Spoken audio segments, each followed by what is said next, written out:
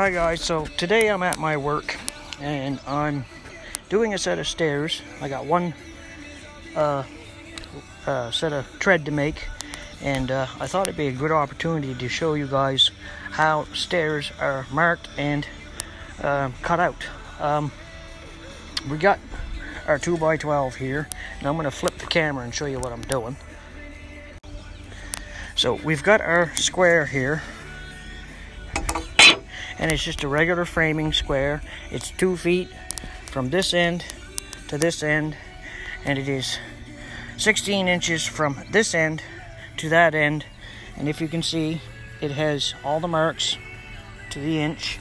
And if you look on most uh, rafters, you'll see that uh, here it says uh, common rafter length per foot and run.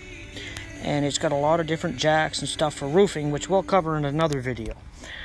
But uh, it does have like all the math and stuff is done for you. So all you can do is follow the numbers and things and I'll show you that again in another video. So when you've got your square here, we got our 2x12 and I've already pre-marked it but I wanted to show you. Um, most most common stairs nowadays is a 11 inch tread which is uh, looking it would be this way right here. This line would be your tread. And this line here, right here, would be your rise. So this line is your rise and this line is your tread. So when we got our square here and we're marking out, we have a most most rises on the stairs is seven, but building code is a maximum of eight inches. Well, in order for us to make this particular set of stairs work out, we uh, I've done the math and it works out to about uh, seven and a half and eight and a quarter. So what I do is if you look here, sorry, I'm trying to hold things and hold the phone. So if you look here, I've got eight and a quarter right there to the edge of my wood. So we're going to hold that with one hand and we're going to come over here. Now as you can see, my seven and a half isn't quite right. So we want to bring, and I'm going to set the phone down for a second.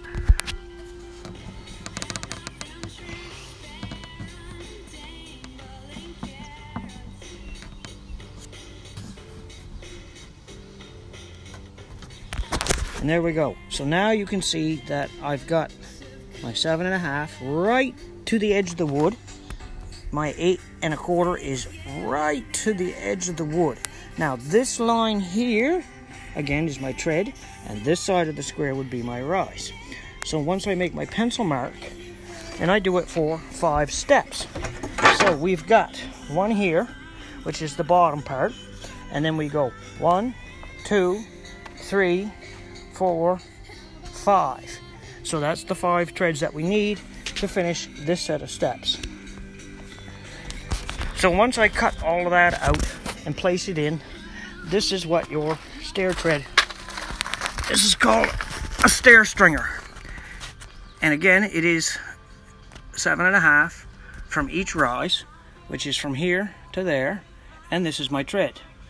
So then you go and it's five steps. So we've got one, two, three, four, and five being that. So that way we've got exactly what we need for a height.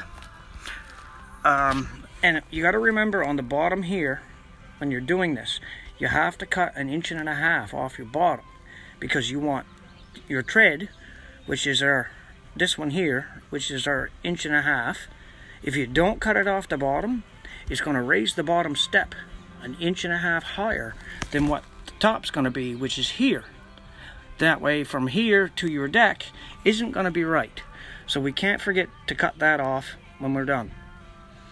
Um, that's your basic stair stringer. And then, of course, as you can see, I've got my treads. And they have about an inch overhang on each one, which is most common with lots of carpenters. I've even notched the back piece for a fastener, which goes right straight through the back of the stair, which I can show you. And that way you can fasten your stairs. So as you can see, there it is there. And it goes right through. And we fasten our stairs to that so that they actually hang and don't fall off. Um, that pretty well covers a basic tutorial on um, stairs, the uh, mathematical equation,